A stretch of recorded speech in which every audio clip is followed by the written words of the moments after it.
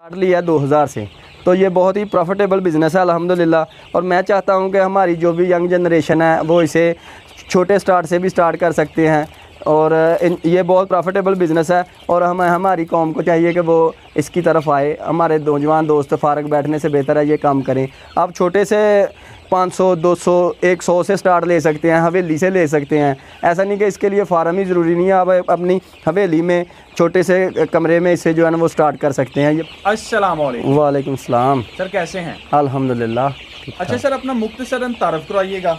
जी मेरा नाम अंसर अली है और पेशे के लिहाज से मैं शोबा वकालत से मुंसलिक हूँ और इधर ही मैं अपने सिटी में प्रैक्टिस कर रहा हूँ एज ए लॉयर माशाल्लाह। अच्छा सर बताइएगा आप वकालत के साथ साथ आपने ये पोल्ट्री फ़ार्मिंग का काम कब से स्टार्ट किया?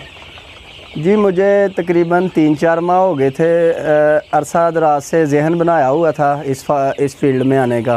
क्योंकि ये एक पार्ट टाइम बिज़नेस भी है और प्रॉफिटेबल भी है।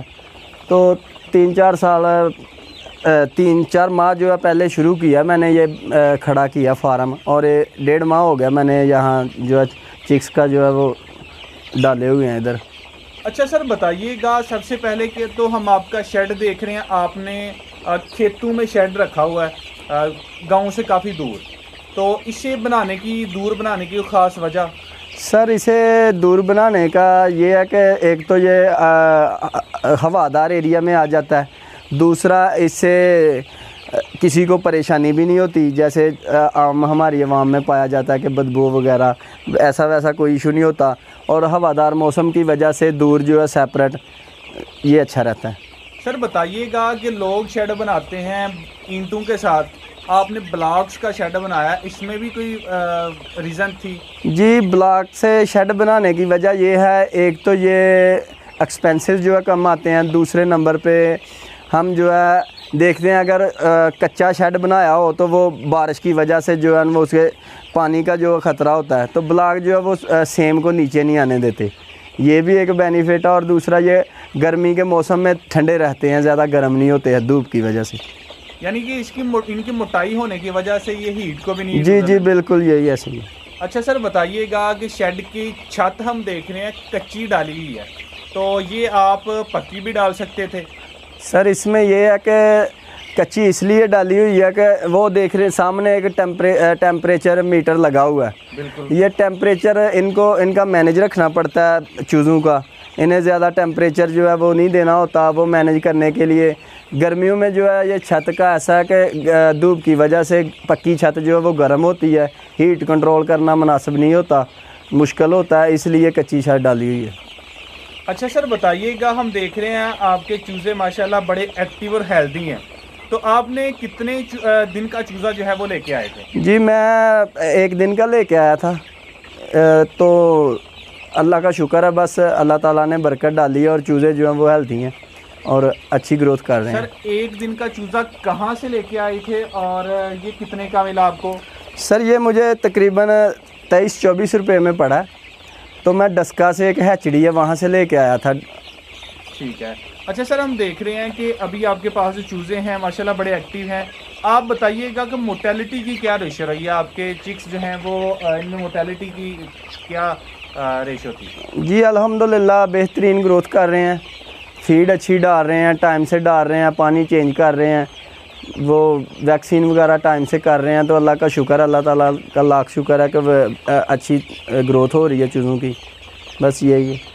अच्छा सर माशाल्लाह आप पेशे से आप वकील हैं आपने हिसाब किताब तो शेड का सारा रखा होगा। जी, जी, तो बताइएगा कि इसकी लंबाई चौड़ाई कितनी है और आपका इसके ऊपर टोटल खर्चा कितना आ गया था शेड जी सर ये मैंने 24 बाई अठतीस का बनाया हुआ शेड छोटा सा मिनी फार्म है। तो इसके इसके ऊपर तकरीबन जो है एक्सपेंसेस वो टोटली एक्सपेंसेस जो हैं वो डेढ़ अढ़ाई तीन लाख रुपए जो हैं वो आए हैं। अढ़ाई तीन लाख रुपए सिर्फ़ शेड के ऊपर? जी शेड के ऊपर। सर जाली के बारे में बताइएगा। जाली के मतलब बहुत सारे लोग जानना चाहते हैं। जाली जो है ये कहाँ से लेके आए थे? ये कौन सी जाली है और कितने की मिलती है? सर ये फुट के हिसाब से मैंने इधर अप, अपनी सिटी से ही ली थी। तो ये फुट के हिसाब से मिलती है, इतनी एक्सपेंसिव नहीं होती है हार्ड भी होती है तो बहुत अच्छी है इसकी। मैंने इधर जब, पहले मुझे भी था इसके ऊपर तहफ़ात थे लेकिन जब से लगाई, अल्लाह का शुक्र है, जाली बहुत अच्छी जा रही है।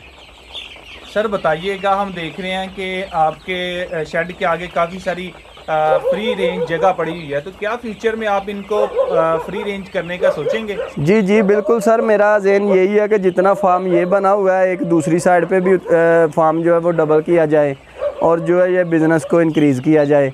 इसीलिए मैंने वो जगह अभी कवर्ड नहीं की। अभी इन ताला प्लान यही है कि उसे भी फार्म में तब्दील किया जाए। अच्छा बताइएगा हम देख रहे हैं अपने नीचे शेड के नीचे ना ये ये मट्टी है बड़े चूज़े जो है इसमें खुश हैं। तो क्या शेड का जो फर्श है वो इसी तरह का होना चाहिए या इसे बेहतर किया जा सकता है? नहीं नहीं शेड का होता ही कच्चा है। इसमें यह है कि मैंने भी कच्चा ही रखा था। आ, मिट्टी में जो है वो चूज़े अच्छे अच्छे रहते हैं खेलते रहते हैं। और दूसरा ये है कि टेम्परेचर भी कंट्रोल रहता है। गर्म नहीं होती मिट्टी इतनी ज़्यादा। तो खेलते कूदते रहते हैं ग्रोथ अच्छी लेते हैं। सर बताइएगा क्या प्लान है? आपका चूज़ों को बड़ा करेंगे एग्स के लिए इस्तेमाल करेंगे या फिर आप इनको आ, सेल करना चाहते हैं मीट पर्पज़ के लिए या क्या आपके प्लान क्या लेके इसे चले सर अभी तो हम जो है ना इसे सेल करेंगे अंडा तक लेके नहीं जाएँगे क्योंकि हमारे पास जगह थोड़ी सी कम है। जब दूसरा सा, साथ फार्म शुरू किया वो हो जाता है मुकम्मल तो एक साइड पे चूज़ा तैयार करेंगे और दूसरी साइड पे जो है हम उसे एग्स के तौर पे इस्तेमाल करेंगे। यानी कि आप दो फ्लाग फ्यूचर में डालेंगे एक जो है वो उसे तैयार करके सेल करेंगे और दूसरा से एग्स लेंगे। जी बिल्कुल ए, ए, एक में जो है वो पॉसिबल नहीं होता जब बड़े कर ले हम एग्स के ऊपर ले जाएँ और दोबारा छोटे को जो है आगे ग्रोथ के लिए वो पॉसिबल नहीं रहता इसलिए जो है ना ये अभी सेल करने के प्लान है। सर बताइएगा चूज़े से पहले दिन से लेके आज तक कितना आपने खर्चा कर दिया है?